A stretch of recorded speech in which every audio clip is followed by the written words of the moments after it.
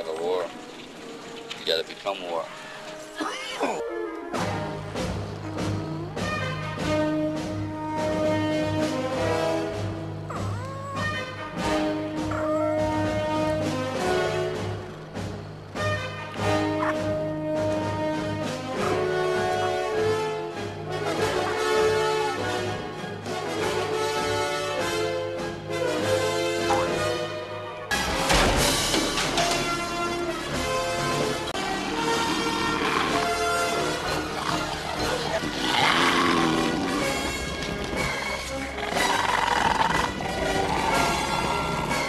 Small.